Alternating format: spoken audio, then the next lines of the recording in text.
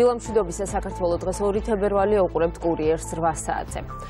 პარტიული წესდების ყველა პუნქტი უკვე შესრულებულია ახალი პრემიერ-მინისტრის და მისი მთავრობის დამტკიცებას მხოლოდ საკანონმდებლო ორგანოს მხარდაჭერა სჭირდება. პროცესი დღეიდან იწყება მომდევნო კვირის განრიგი კი ბიუროს დღევანდელ სხდომაზე გაიწერება. პრემიერობის ახალი კანდიდატი სამთავრობო გეგმით პარლამენტში მომავალ კვირას მივასწორეთ. მომავალ კვირას იქნება საკომიტეტო განხილვები და პლენარული სხდომა, სადაც საკანონმდებლო ორგანო მთავრობის ახალ მეთაურს და მის გუნდს დაამტკიცებს. ირაკლი კობახიძის გაპრემიერებას მინიმუმ 60 76 ხმა სჭირდება. უმრავლესობა საკანონმდებლო ორგანოში კი 84 დეპუტატი ჰყავს. ეს გამართება პარლამენტის ბიურო, სადაც შედგება საბოლოო გრაფიკი, თუ როგორ მოხდება პრემიერ-მინისტრობის კანდიდატის მოსმენები კომიტეტებში, აგრეთვე ოპოზიციისა და უმრავლესობის მხრიდან.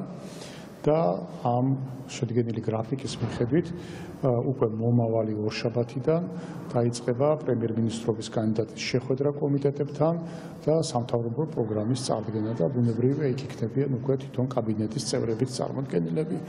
იგეგმება რომ ხუთშაბათისთვის უკვე მოხდეს ახალი პრემიერობის ახალი კანდიდატის დამტკიცება პარლამენტის პლენარულ სხდომაზე. პრემიერ-მინისტრობის კანდიდატის პროგრამას და მის სამთავრობო გუნდს პარლამენტში ელოდება საპარლამენტო ოპოზიცია. პოლიტიკური პარტიები მომდევნო კვირას ყველა დაგეგმილ განხილვაში ჩაერთვებიან. წინასწარვე ცნობილია ოპოზიციის გადაწყვეტილება ახალი მთავრობის მხარდაჭერის ნაწილში. ისინი ირაკლი კობახიძის გუნდს ნდობას არ გამოუცხადებენ. ოპოზიციის გადაწყვეტილება არ დაუჭირონ მხარი მთავრობის ახალ მეთაურს არ უკვირს მმართველ გუნდს. ქართულ ოცნებაში დარწმუნებულები არიან, რომ ირაკლი კობახიძე ღირსეული პრემიერ-მინისტრი იქნება. როგორც ჩანს ხაუციეს ანგარიში ირეკლი ღარიბაშვილს და ერთ კაზე მეტი არ შეაცვლევინეს პრემიერების კანდიდატს თავრობაში ესეც ძალიან საინტერესოა ალბათ მოგვიანებით მოხდება ეს ცვლილებები მაგრამ რა თქმა უნდა როდესაც საუბარია თავრობის თვის დობის გამოცხადებაზე ხა ძალიან შორს ვარ დობასთან მიმართებაში მაგრამ კითხები მექნება და ფავარი კითხები იქნება ცხრა რეკომენდაციის ის ნაწილი რომელიც თავრობის პასუხისგებლობაა მით უფრო როდესაც მთავარი რუპორი პარლამენტში ბატონი კობახიძე იყო ან დასალო პროპაგანდაში.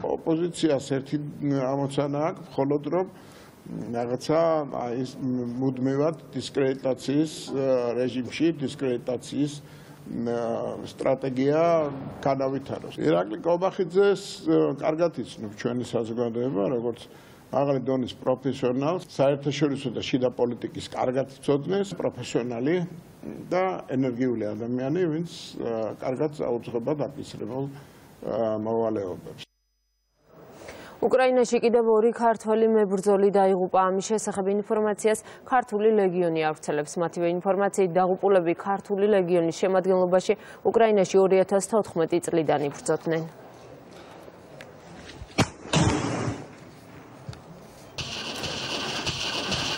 უკრაინაში ომი გრძელდება, სადაც საბრძოლო მოქმედებები კვლავ აქტიურ ფაზაშია. საჰაერო ძალებმა სამხრეთ რეგიონის მაცხოვრებლები დრონები თავდასხმის საფრთხის გამო გააფრთხილეს. აფეთქებების ხმა ისმოდა კრივოი როგში. სამხრეთ ოლქებში ღამით მასიური თავდასხმა განხორციელდა არიან დაღუპულები დაიბომბა სუმის ოლქის ხუთი სასაზღვრო დასახლება. დაფიქსირდა 107 აფეთქება. უკრაინის გენერალური შტაბის ინფორმაციით გასული დღის განმავლობაში ფრონტზე თავდაცვის ძალებსა და რუს ოკუპანტებს შორის 58 საბრძოლო საბრძოლო შეტაკება განხორციელდა. ავდიივკას მიმართულებით მოგერიებულია 20 შეტევა.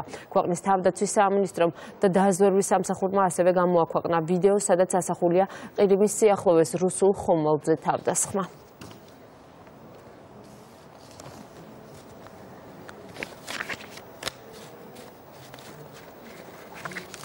ეროვნულ არქივში ციგნის ბერძნები საქართველოსი პრეზენტაცია გამართა მასში აღწერილია მე-19 მე-20 საუკუნეებში საქართველოსი ეთნიკური ბერძნების ცხოვრება და საქმიანობა.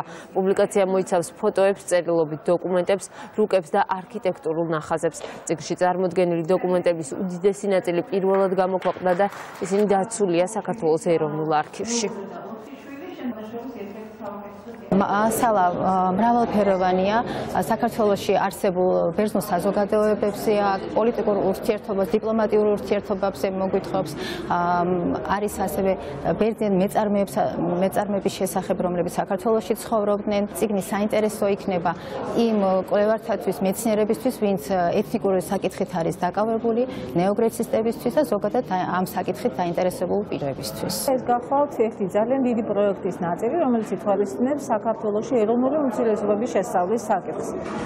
შესულია სრულიად ისეთი განსაკუთრებული და მრავალფეროვანი მასალა, ძირითადად ეს ქრონოლოგიური საზღვრები მისი გახლავთ მე-19 და მე-20 საუკუნეები, ეს არის ის ის დოკუმენტები, რომლებიც ბერძნებთან დაკავშირებით ყველაზე ნაკლებად არის შესწავლილი ქართველი მსროლელი ნინო სალუქვაძე იუბილარია. სპორტსმენს 55 წელი შეუსრულდა. ის პირველი ქალი სპორტსმენია რომელიც ოლიმპიადაზე მეათედი ასპარეზებს ის 2024 წლის პარიზის ოლიმპიადისთვის აქტიურად ემზადება.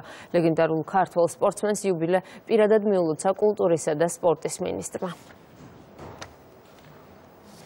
სპორტი ისეთ დონეზე ვითარდება და უკვე არც წუთი არის საკმარისი მიასედებად დაყვეს ასევე დაყვეს ჩვენთან ქულები და ამიტომ თუ რამეს აკეთებ მამაკაცია თუ ქალბატონია სულ ერთია უნდა გააკეთოთ მაღალ დონეზე. მაგრამ აი მაღალ დონეს რომ მიაღწიო აუცილებლად არის უსაზრო შრომა ჩასადები ის არის არამხოლოდ ქართველი ლეგენდარული სპორტსმენი ის არის მსოფლიო სპორტის ისტორიაში ერთ-ერთი მნიშვნელოვანი ფიგურა და ერთადერთი ქალი სპორტსმენი დღემდე ოლიმპიზმის ისტორიაში, რომელიც ოლიმპიურ თამაშებზე 2024 წელს საფრანგეთში მეათედ იასპარეზებს.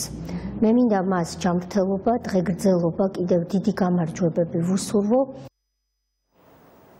ასეთი იყო ახალი ამბები ამ დროისთვის განახლებული ინფორმაციით დაგიბრუნდებით 9-ზე.